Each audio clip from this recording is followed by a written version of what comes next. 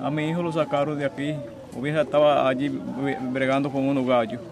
Y cuando estaba ahí se acaban y fueron a ver televisión, entonces lo llamaron por el teléfono y esa fue la última. Él salió a ver quién era, o viese al encuentro, porque él sabía quién era. Y cuando iba un poco arriba lo encontraron una gente. Y esa fue la última vista de mi hijo. Ahí venía pareja seca por ahí, lo encontraron y se lo llevaron y lo mataron por ahí, en, caña, en los palitos de Mao.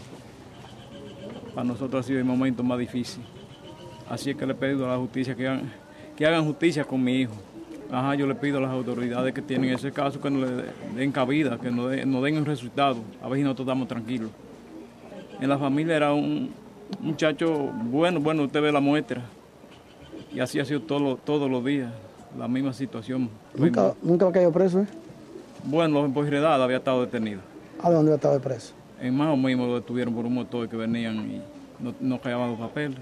Y lo detuvieron, lo llevaron, pero muy bien y lo soltaron.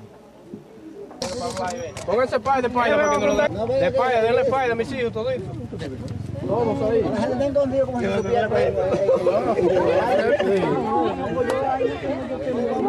se ve bien así. Vamos a darle para arriba. Queremos justicia. Por la muerte de